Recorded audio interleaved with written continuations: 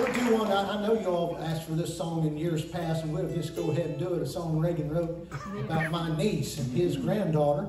And it says, uh, I'm no longer an orphan.